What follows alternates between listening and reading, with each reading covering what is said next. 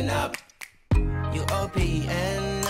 Bitch, uh, you won't BBM. Uh, we should be closer than friends. Uh. If you OPN. Engaging you's on my agenda. Request my chariot to get ya. The door's OPN. Take that hot road and hop in. Open up, open up. Shut it down like a Macintosh. Open up.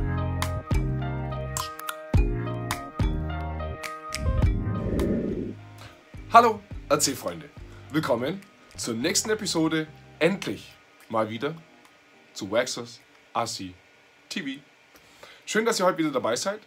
Es ist sehr, sehr viel passiert. Ich habe mir jetzt eine kleine Auszeit nehmen dürfen, weil ähm, ich voller Freude endlich berichten darf, dass meine zweite Tochter zur Welt gekommen ist. Und ähm, diese letzten Wochen natürlich vor der Entbindung sind da immer etwas ähm, ja, etwas stressiger, etwas, man bereitet sich auf das neue Leben vor, man unterstützt die Frau, wo man nur kann.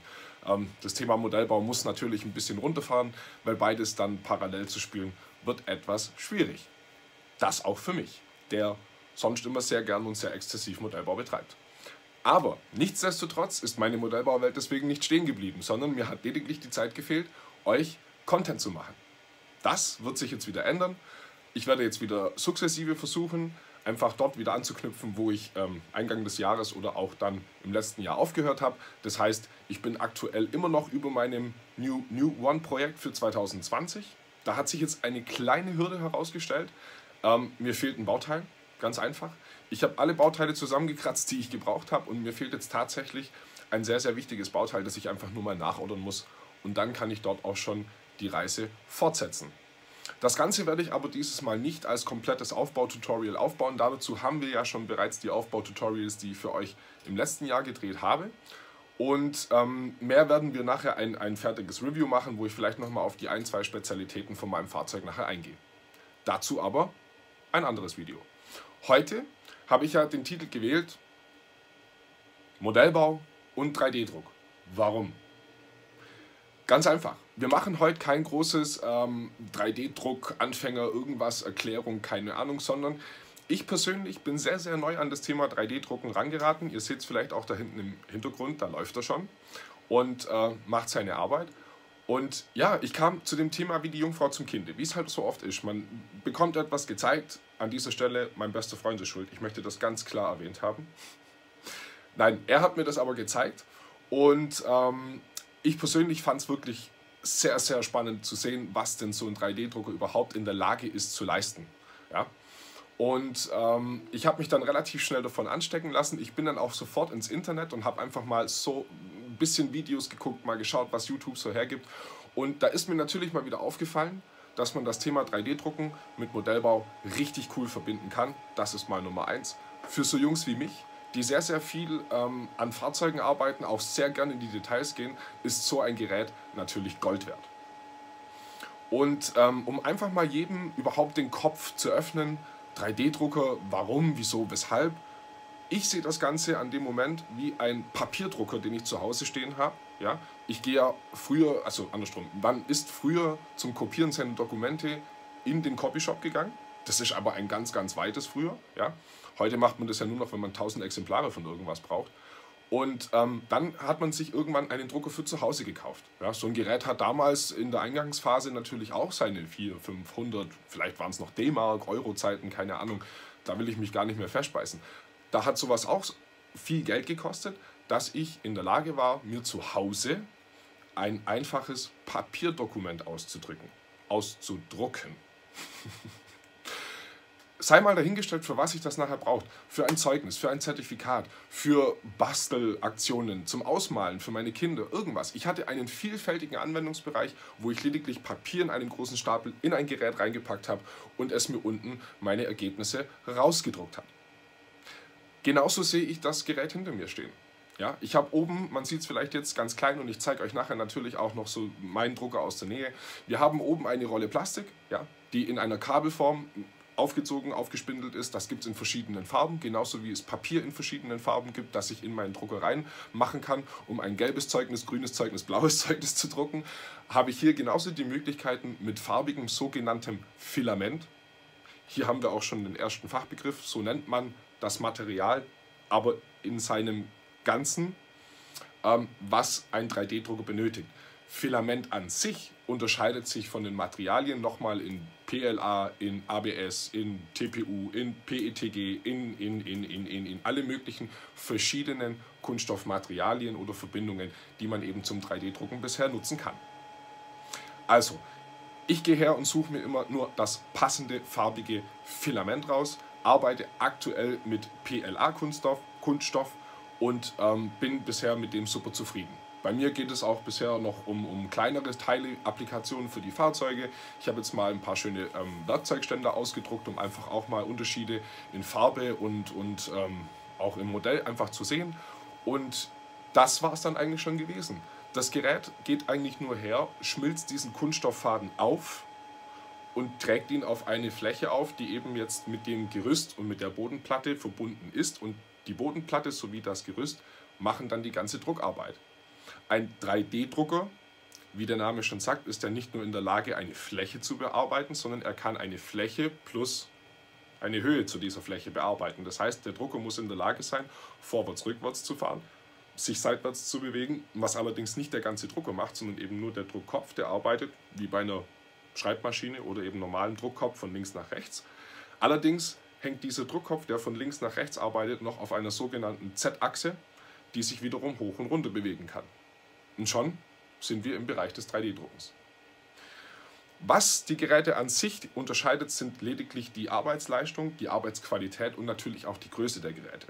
Da kann ich jetzt, ähm, ähnlich wie es auch bei den Papierdruckern war, einen normalen Drucker für zu Hause kaufen, ja, den einfachen Papier rein, rausdrucken, fertig. Ich kann mir einen Drucker, Scanner, Multifunktionsgerät kaufen, bis hin mit Faxverbindung, bis hin, was halt keiner mehr nutzt, aber bis hin zu einem riesengroßen Büro-Großraumdrucker. Und ich denke, hier sind die Verhältnisse die gleichen.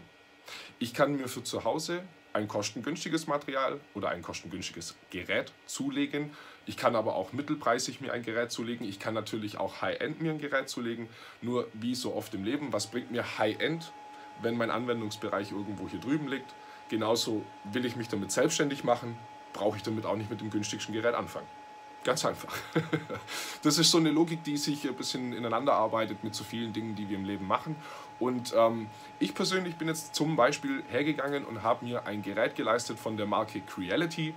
Ich wusste nichts über die Firma, ich wusste nichts über das Gerät, ich wusste nichts über die Marke und habe lediglich meine Ohren, Augen aufs Internet konzentriert, habe mir dort die Videos angeschaut, die die Leute bisher schon über das Gerät reingestellt haben und habe irgendwo mein persönlicher Fokus lag eigentlich darin, mir ein Gerät zuzulegen, das möglichst groß drucken kann und vielleicht auch sehr präzise arbeitet. Das waren so die zwei Punkte. Man will natürlich ein schön bestmögliches Ergebnis haben und eventuell auch mal etwas bauen, das größer ist. Punkt. Ähm, mein Kumpel an der Stelle arbeitet mit einem 22 x 22 x 25 äh, in der Höhe, in den Abmessungen mit einem Gerät. Und ich habe mich jetzt für ein Gerät entschieden mit 30 x 30 x 40 cm. Das ist auch, sage ich mal, für den Heimgebrauch so ziemlich das Größte, was man sich anschafft. Und ähm, dann sind die Parameter natürlich über die Technik, über, die, über das Display, über, über Motherboard ähm, etc. pp. oder Mainboard oder wie auch immer dieses Board in diesem Gerät heißt, das für die Steuerung zuständig ist. Ähm, da unterscheiden sie sich. Ich selber habe jetzt mal darin vertraut, auf das, was gesagt wurde, habe auch dann einfach bestellt und habe jetzt roundabout nicht ganz 500 Euro in das Gerät investiert.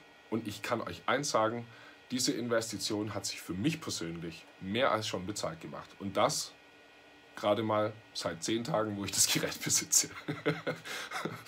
Was ist passiert? Ja, ich habe das Gerät einfach schon die Zeit, wo ich es habe, durchlaufen lassen. Und es hat mich bisher so gut wie noch gar nicht enttäuscht.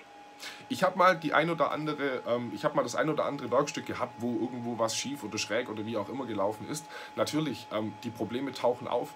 Das Gerät möchte manuell justiert werden, hat auch eine Art Auto-Leveling-Funktion. Allerdings ist die nicht als automatisch zu verstehen. Das heißt nicht, ich muss da gar nichts machen, sondern ich muss eine manuelle, externe ähm, Messung bzw. Ausrichtung vornehmen und das Gerät misst dann nochmal nach, was ich eingestellt habe. Und aufgrund seiner Messungen ist er nachher in der Lage, das noch selbstständig auszugleichen. Und das ist die sogenannte Auto-Leveling-Funktion, zumindest mal bei meinem Gerät. Ähm, dabei handelt es sich um den CR10S Pro von der Marke Creality. Und ähm, er war für mich irgendwo ein, ein interessantes Gerät, weil er einfach mal platzsparend ist. Ja, ich werde, wie gesagt, euch gleich nochmal vom Kameraständer runternehmen. Wir laufen mal kurz eine Runde um das Gerät. Ich zeige euch einfach mal ein paar Kleinigkeiten und wie er so arbeitet und zeige euch dann auch noch im Nachgang, was ich denn bisher so mit meinem 3D-Drucker gemacht habe. Nochmal kurz zurück zu meinem Argument. Ich habe ihn mir gekauft, weil er einfach vom Platz her sehr komprimiert arbeitet. Es gibt äh, bisher viele Modelle, die externe Netzgeräte haben, da wo auch die Filament, der Filamentrollenhalter auch extern gelöst ist. Ähm, hier ist alles auf dem Gerät aufgebaut. Das Gerät war auch deklari deklariert als fertig zusammengesetzt. Ich musste in der Tat nur sechs Schrauben noch verschrauben, um das Gerät aufzubauen. Und dann war schon die Installation bzw. die Inbetriebnahme fällig. An der Stelle wirklich für mich als Quereinsteiger, äh, sogenannter Sprung ins kalte Wasser Patient, ähm, wirklich eine sehr, sehr tolle Geschichte, sehr leicht verständlich, die Aufbauanleitung tipptopp. Also hier an der Stelle dann leider doch etwas Werbung für das Gerät gemacht. Es ist wirklich top. Ja, hat mich bisher jetzt nicht im Stich gelassen und hat meine Erwartungen mehr als nur übertroffen bisher. Aktuell experimentiere ich, wie gesagt, viel mit rum. Man hat ähm, beim 3D-Drucken eigentlich nur die Einstellungsmöglichkeiten der Temperaturen, mit denen wir arbeiten. Die sind aber auch ausschlaggebend je nach Materialunterschied. Also sprich, wenn ich jetzt ABS äh, verarbeiten möchte, muss ich meines Wissens nach noch ein bisschen weniger Temperatur hernehmen, wie wenn ich jetzt beispielsweise mit PLA arbeite. Gut, das sind so Feinheiten, in die arbeitet man sich natürlich mit der Zeit rein. Ich habe mir jetzt für den Anfang mal vorgenommen, lediglich unterschiedliche PLA-Filamente anzuschaffen, ja, weil das, was ich so in meinen Anwendungsbereichen habe, da bin ich nun mal mit PLA unterwegs. Ähm, ich denke für so Sachen wie Spielzeuge, ja, die ich jetzt äh, irgendwann mal meinem Kind in die Hand drücken will, die sich zerknautschen lassen und dann wieder in ihre Ausgangsform zurückgehen, da ist beispielsweise ein ABS-Kunststoff sehr praktisch und muss wohl sehr gut funktionieren oder auch ein TPU oder PETG. Das sind auf jeden Fall alles weichere Geschichten. Ähm, ich habe beispielsweise eine PLA-Rolle, die jetzt mit äh, Carbon vermischt also Kunststoff mit Carbon gemischt. Ähm, bin da auch mal gespannt. Das Ganze ist in schwarz, soll A dekorativ sehr gut aussehen und B auch Stabilität mehr beinhalten wie ein reines PLA-Filament. Und das sind gerade momentan noch so die, die Experimente, die ich an der Stelle mache. Einfach mal das PLA kennenzulernen, die Unterschiede in seinen Eigenschaften, wenn es dann um die, die, die unterschiedlichen Sachen geht. Ich sage jetzt mal RC-Detail-Tools, ähm, dann vielleicht auch diese Toolstands oder auch Spielzeug fürs Barbiehaus, je nachdem. Also da bin ich gerade erst am PLA angekommen, habe ein Gerät, das jetzt sehr, sehr einsteigerfreundlich ist, das sehr bedienfreundlich ist, trotz seiner nur zwei fähigen Sprachen, nämlich Mandarin und Englisch. Und ich aber das Englisch natürlich mächtig bin, ähm, komme damit vollkommen super klar man muss dem Gerät an der Stelle nicht viel Aufmerksamkeit schenken, außer dass man es eben sauber hält auf seiner Fläche, wo es arbeitet, dass man hin und wieder mal checkt, dass auch das äh, Bett ordentlich sitzt und ähm, ja, das ist eigentlich auch schon alles gewesen. Ich würde sagen, ähm, wir machen jetzt einfach mal kurz eine Tour, gucken uns nochmal an, was ich hier für äh, Werkzeugstände rumstehen habe. Dann werde ich euch in meine ich nenne es jetzt mal einfach den Blue Room da hinten mitnehmen. Das ist die blaue Abteilung, wo jetzt gerade aktuell meine ganzen Tourer drin stehen. Und äh, zeige euch dann noch meinen BMW Kombi, den ich mal hergerichtet habe über die Feiertage, ähm, beziehungsweise ja, über die freien, letzten freien Tage oder auch äh, andere Tage. Und dann gehen wir nochmal abschließend zu meinem Gerät und gucken das uns einfach nochmal aus der Nähe an. Das sind meine sogenannten Toolstands, also die ich jetzt auch als Vorlage aus dem Internet habe die möchte ich ganz klar erwähnen, habe ich jetzt nicht selber designt. Das Einzige, was ich mir für mich selber gegönnt habe, mal hier an diesem großen, ähm, war eben das Waxer RCTV Logo mit einzubauen. Ähm, wie gesagt, um dort einfach ein bisschen für mich selber einen individuellen Wert zu haben. Das ist an der Stelle auch nicht wirklich schwierig. Es gibt dementsprechende Programme, wo man dann auch die Werkstücke bearbeiten kann. Natürlich immer ausschlaggebend vom demjenigen, der es designt hat, ob er das natürlich auch zur Bearbeitung freigegeben hat. Ja, also es gibt auch mal ein Werkstück, das kann man nicht nacharbeiten. Da ist mir dann auch nicht möglich, irgendeinen Namen oder irgendwas einzufügen. Ähm, bei dem hier drüben, wie gesagt, war es jetzt kein Problem. Und da habe ich mir das aus Spaß mal erlaubt. Das Ganze auch nochmal in schwarz, ja, um einfach mal zu sehen. Und wenn wir das mal so aus der Nähe ein bisschen betrachtet, ihr seht hier die schönen feinen Fahrlinien, ja, die der Drucker macht für die Oberfläche.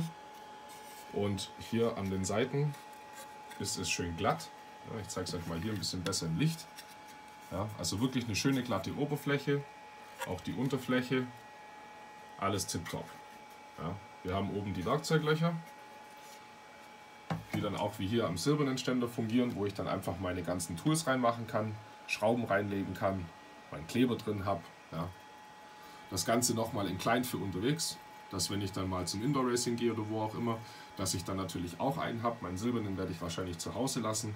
Der wird so für das Werkzeug sein, was man dann eben immer auch hier auf dem Tisch benutzt. Dann habe ich noch einen kleinen für einen Ausflug und hier nochmal schön in Blau. Ja, das ist jetzt das neueste Filament, was ich mir gekauft habe. Das nennt sich Silk Blue. Ähm, Finde ich richtig schick. Also auch dieses Silber war dieses Silk, steht für Seide. Seidig, glänzend, meinetwegen. Ähm, während der Schwarz jetzt zum Beispiel einfach nur matt, matt rauskommt, was aber auch wirklich schön ist, also gefällt mir auch richtig gut. So schwarzes Matt. Ähm, ist jetzt nicht dieses Carbon, das ich mal eingangs erwähnt habe, sondern das ist wirklich noch das ganz, ganz stinknormale PLA-Filament in schwarz. Ähm, Besonderheit, was ich nur habe mit dem Drucker, ähm, einfach für die, die schon 3D drucken und das verstehen, ich drucke diese kompletten Werkstücke in 0,14 mm. Das ist eine sehr feine Druckeinstellung. Äh, mein Drucker ist in der Lage, bis zu 0,10 mm runterzufahren, was jetzt an der Stelle keine Besonderheit ist. Aber manchmal ist man aufgrund ähm, der Größe von einem Werkstück verleitet, das Ganze auch mit größerer Druckgeschwindigkeit zu machen. Und ja, also ich habe wirklich mit diesen feinen Einstellungen, und jetzt zieht euch mal das rein, ja, in diesem Blau, wie das hier schön schimmert. Das ist ja der absolute Wahnsinn, oder? Schaut mal her. Wie es auch fast schon das Feuerzeug hinten reflektiert. Ich finde das einfach nur wunderschön. Das gefällt mir jetzt zum Beispiel richtig gut, dieses Blau. Wie da einfach das Licht mitarbeitet. Ja, passiert bei dem Silber eben auch. Das haben diese, diese ganzen Silk-Farben an sich. Ähm, was ich mir jetzt mal noch geordert habe, worauf ich gerade noch warte, ist ein, ein schönes leuchtendes Orange. Äh, ein auch äh, satiniertes oder seidiges Violett und eben noch ein ganz, ganz ähm, helles Weiß. Also white, bright white oder wie es sich dann auch schimpft im Englischen. Um äh, dann einfach nochmal ein paar Vergleiche zu ziehen. Aber ihr könnt schön sehen, auch hier der silberne arbeitet schön mit dem Licht. Ja, reflektiert ein bisschen mit. Während der schwarze, den kann ich hier gegen das Licht halten. Da sieht man bloß auch nochmal schön die Oberfläche. Ja. Aber der blaue, der haut mich jetzt schon ganz ordentlich weg. Sieht gut aus. Gut, dann zeige ich euch mal ein Projekt, was jetzt bisher noch nicht gelungen ist. Tada! Ja. Da war der Versuch, einen 1 zu 18er Reifen zu basteln. Also auch aus einer Vorlage heraus. Allerdings gab es jetzt mit dem Reifen zwei Probleme, die ich hätte wissen sollen. Und zwar Nummer eins, der Mitnehmer funktioniert nicht für das Modell. Nummer zwei, die Reifengröße passt nicht auf das Modell. Und ich persönlich habe dann den Fehler gemacht und habe den Reifen so im äh, Programm reingesetzt als, als Druck Vorlage. Also man hat ein sogenanntes Slicer-Programm, wo man ja vorher sein Werkstück eben äh, digital nochmal bearbeiten kann, ausrichten kann. Und ich hatte sie mit, den, ähm, mit der Felgenaußenseite nach unten. Was heißt, es hatte dann dort mit dem Stützmaterial Kontakt und ist daher dann nicht ganz sauber geworden. Wohingegen die hintere Seite und die Flanke der Innenseite wunderschön geworden ist. Ja, heißt beim nächsten Mal, beim nächsten Versuch mit, einem anderen, mit einer anderen Felge ähm, werde ich mal versuchen, die einfach so herumzudrehen und zu gucken, wie dann das Ergebnis aussieht. Ich denke, der Reifen ist ja nach, nach innen nicht zu sehen, deswegen, wenn hinten dann ein bisschen unschöne Kosmetik stattfindet, ist das gar nicht so schlimm. Ähm, wenn es nach vorne hin, da soll es einfach sauber abschließen. Ja, das ist da irgendwo meine persönliche Meinung. Aber gut, wie gesagt, passiert auch mal, dass etwas ein bisschen misslingt. Äh, mit denen kann ich jetzt nicht viel machen. Aber so wie ich bin, werde ich die noch irgendwie als Dekoreifen für irgendein Diorama verwenden. Und dann haben wir auch schon das nächste passende Stichwort eingeleitet. ja, hier oben wieder ein bisschen Platz gewonnen. Und aktuell meine Onroad- und Drifter-Ausstellung. Ja, hier hinten habe ich ja euch jetzt schon mal versprochen. Schauen wir uns mal den BMW an. Ja, der hat vorne eben einen Kühlergrill sowie einen Abschlepphaken spendiert bekommen. Wir haben einen Turbolader drauf. Wir haben GoPro Action Cam Imitate. Ja, schön Fahrerseite, hinten am Heck und wo noch? Ah, oben auf dem Dach. Und was natürlich auf einem Kombi irgendwo nicht fehlen darf, auch wenn es voll nach Familie schreit und Urlaubsfahrt, aber ist eben dieser Dachkoffer. Ja.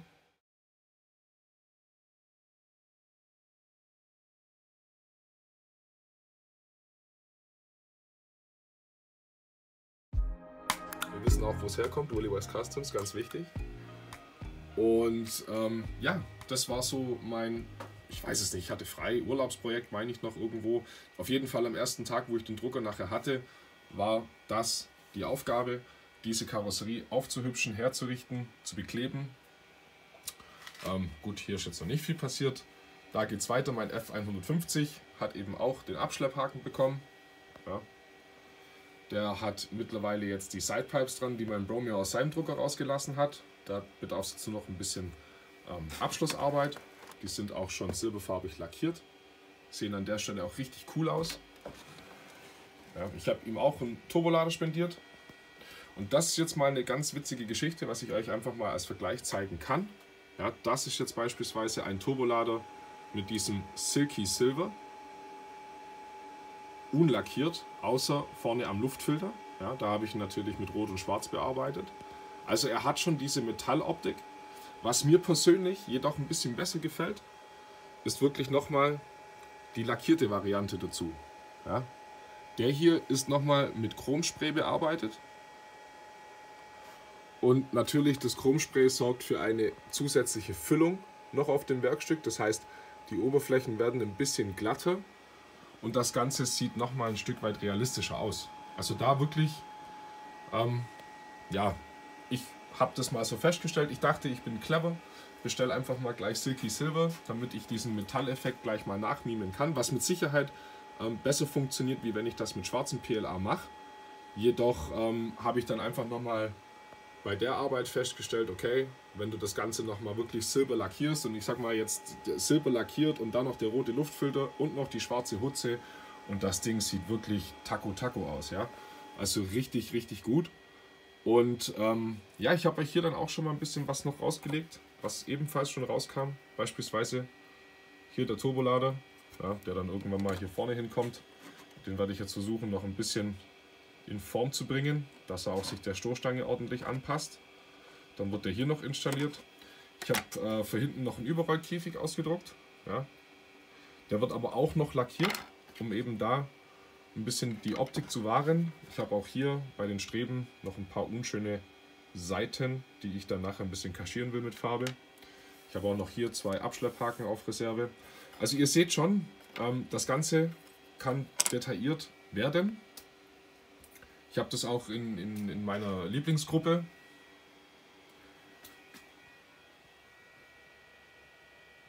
Ich glaube, ich muss nicht mehr dazu sagen. Einfach schon des Öfteren gesehen.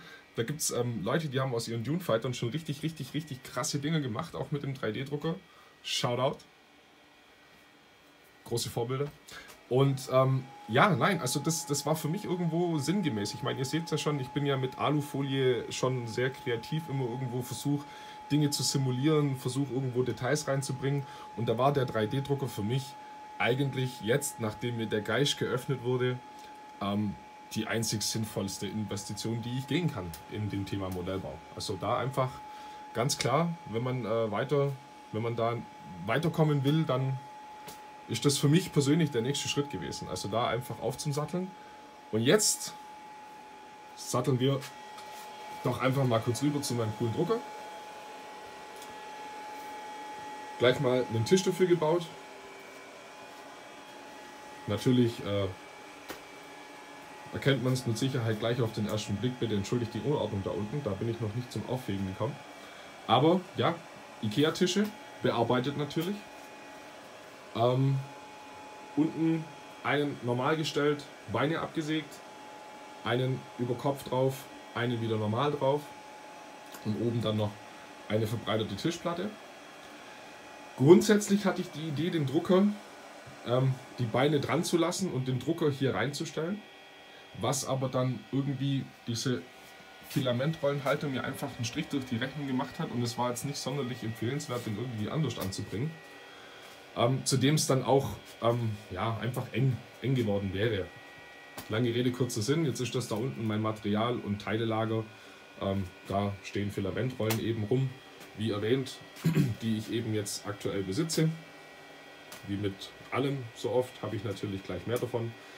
Ähm, was ziemlich cool ist, die, die, das Gerät kommt mit Zubehör, also viele oder alle 3D-Drucker kommen eigentlich mit relativ viel Zubehör mitgeliefert, weswegen das äh, einfach auch Sinn macht, irgendwo ein Fach zu haben, wo man diese ganzen Dinge dann lagert. Ähm, wie gesagt, mein Modell hat jetzt einfach eine sehr, sehr großzügige Bodenplatte. Ich sage jetzt mal, die wird so um die 48 cm breit und fast schon 70 cm tief sein. Ähm, allerdings auf der befindet sich ja dann der, die Arbeitsfläche mit seinem, mit seiner Antriebs, mit seinem Antrieb eben. Wir haben den Druckkopf, wie eingangs erwähnt, der ja nur von links nach rechts fährt. Und der Tower, zeige ich euch von hinten, ist mit äh, jeweils einem Motor ausgestattet, der diese Achse, auf der der Drucker läuft, hoch und runter fährt. Ja? Und die Platte bewegt sich vorwärts, rückwärts. Das heißt, nochmal Kombination vorwärts, rückwärts, links und rechts, hoch und runter, gibt 3D. so, ihr seht schon, ja, habe wieder Silky Blue am Laufen. Das Ganze gibt dann nochmal einen ähm, Werkzeugständer Toolstand. Und das ist sogenanntes Stützmaterial, was quasi unter dem Werkzeugständer war um dann quasi ein sauberes Werkstück von unten auch zu haben. Und diese Reste kann man natürlich noch super hernehmen, um seine Station aufzuwerten. Da ich ein Kind von LED bin, natürlich gleich mal ordentlich mit Disco-Modus ausgestattet. Einfach mal Party hier. Ja, ihr seht schon. Also wenn das Ding mal länger läuft, dann sieht es hier unten bunt aus. Und eben laufig. Genau. Ja, Menüführung, das, dass ihr es mal auch gesehen habt. Äh, ja, so sieht man es ein bisschen besser. Steht jetzt aktuell einfach nur die Einstellungsparameter drin, was der Druckkopf für eine Temperatur hat, was die Platte für eine Temperatur hat, was ich für ein Werkstück drucke und wie lange das Ganze schon läuft und bei wie viel Prozent Fortschritt wir sind. Ähm, dadurch, dass wir hier eben von der Stützplatte des Ganzen reden, haben wir dementsprechend am eigentlichen Werkstück auch 0% Fortschritt. So. Das mal als Einstieg zu meinem weiteren ergänzenden neuen Hobby. 3D-Drucken. Ja. Die ganze Station, Willy West Customs 3D Studio, ähm, ja, mal kurz noch erläutert, was mir jetzt noch so ein bisschen einfällt. Wir haben hier einen Schaber, funktioniert wie eine Spachtel. Damit löse ich das Werkstück von der Platte. Ich habe hier einen Seitenschneider, sehr scharf, mit dem ich einfach ähm, noch Reste abschneiden kann. Ich habe manchmal auch so, so Material, das was da noch weggeschnitten werden muss. Ich habe euch hier das mal ein bisschen liegen lassen, um zu zeigen, was für Materialreste denn im Großen und Ganzen übrig bleiben. Das sind aber wie gesagt immer die Stützmaterialien, die sogenannten Stützmaterialien zu einem Werkstück. Das heißt auch die Felgen zum Beispiel, die dann in die Hose gegangen sind, ähm, die waren zuvor auf diesem Stützmaterial aufgebaut und als dann der Druck abgeschlossen war, habe ich sie von dort runtergenommen. Und das war jetzt zum Beispiel das Material zu dem äh, Rollkäfig, den ich auf den Pickup drauf machen will. Also wie gesagt, es gibt immer so ein bisschen, klar, Material Schwund, aber das Werkstück an sich wird ein besseres, wenn ich natürlich äh, etwas, ähm, wenn ich dieses Material da habe. Ja, das Einzige, worauf ich dann ein bisschen, das Einzige, worauf ich als Anfänger achte, ist nachher die Ausrichtung von meinem Werkstück. Das ist das, was ich vorher im Video erklärt habe mit Felge unten, Felge oben. Das sind so Kleinigkeiten, die will man ausprobieren. Gut, ansonsten schwarzer Drucker, rot eloxierte Aluteile, muss ich euch mehr sagen. Das war einfach mein Gerät, macht mich super happy. Und an der Stelle können wir für heute auch schon in die Verabschiedung einsteigen. So, Freunde, langes Video heute wieder, aber hier sind wir schon. Abschiedsrunde. Schön, dass ihr dabei wart. Wirklich vielen, vielen Dank. Ähm, auch für die ganzen Nachrichten, die der ein oder andere, der hier zuschaut, mir bei Facebook, Instagram etc. geschrieben hat. Glückwünsche zu meiner neuen Tochter. Vielen, vielen herzlichen Dank an der Stelle. Einfach mal hier auf dem Kanal. Nein, ich werde euch kein Foto davon jetzt einblenden, weil meine Tochter hier nichts zu suchen hat. Zumindest mal nicht, wenn sie zwei Tage alt ist. Nein, also wirklich, ähm, da brauchen wir nicht weiter drüber sprechen. Trotzdem vielen Dank. Ähm, ich habe gespürt, ihr habt an mich gedacht und ihr habt es dann äh, zur Kenntnis genommen und wen es dann vielleicht doch noch an der Stelle hier interessiert, sucht mich bei Instagram willams1984 mit Unterstrichen zwischendrin. Alles andere dürft ihr selber rausfinden oder bei Facebook unter Ambros Williams. Wir machen weiter. Ich habe aktuell noch ein kleines Buggy-Projekt hier auf dem Tisch liegen, über das ich eigentlich theoretisch nicht sprechen wollte, aber jetzt doch sprechen werde. Ganz kurz, weil ich es vorher in der Einblendung auch hatte. Das ist mein neuer kleiner Zuwachs aus dem Hause WL Toy. Den werde ich euch noch reviewen, beziehungsweise mh, hm, das Eingangsreview wird ausfallen, weil ich habe ihn leider schon zerlegt. Hm. Und warum habe ich das gemacht? Wenn man es kann. Der Buggy ist wirklich richtig cool. Ich werde ihn euch zeigen. Ist ein 1 zu 14er Modell und habe ich mir zugelegt, um auf der Indoor-Strecke zu fahren, weil 1 zu 14 auf der Indoor-Strecke die absolut geniale Größe ist. Man hat wirklich nochmal viel, viel mehr Platz wie mit einem 1 zu 10er Fahrzeug und ich kann euch eins garantieren, der kommt den großen Autos wirklich hinterher. Das Ganze kam nur als Brush-Modell ausgeliefert. Ich habe mir jetzt wieder vorgenommen, das Ganze auf Brushless umzusetzen. Was soll ich sagen? Ich brauche den Punch bei den Sprüngen. Das war das Einzige, wo ich gemerkt habe, dass nach der fünften Runde, wenn der Akku dann ein bisschen schwächer wird, ein Nachteil entsteht, er dann auch den Sprung nicht mehr ganz schafft. Deshalb habe ich hier gesagt, ich bleibe bei den zwei S-Lipos, aber ich möchte ein bisschen Hans Dampf in die Gasse bringen. Das heißt, einen Brushless-Motor einbauen. Ich schwanke gerade noch, mit welcher Motorisierung ich fahren werde. Ich denke aber, ich werde mal irgendwo mit ganz smoothen 3000 kV anfangen und werde mich dann einfach mal durch die Sache durcharbeiten. Ist ein ziemlich cooles Projekt, werde ich einen separaten Content dazu drehen. Ihr werdet ihn sehen und ich kann euch jetzt schon mal verraten, das ist ein absolutes Spaßauto für unter 100 Euro. Wenn man es dann nicht nachträglich noch umbaut.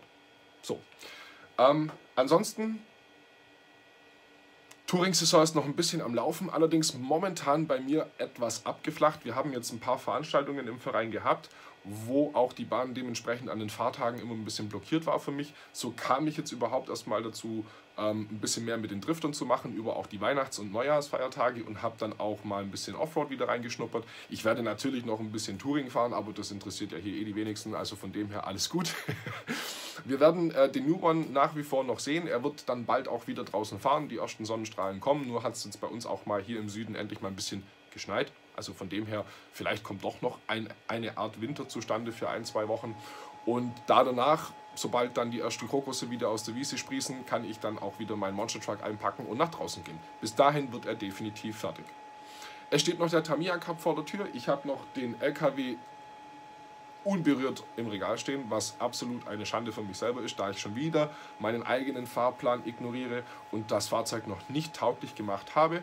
Das sind aber alles Dinge, die jetzt relativ schnell passieren können und ähm, jeder, der mich kennt, weiß, dass wir da nicht über Wochenprojekte reden, wir reden nicht mal über Tage. Wenn wir über Stunden reden, dann ist es schon viel.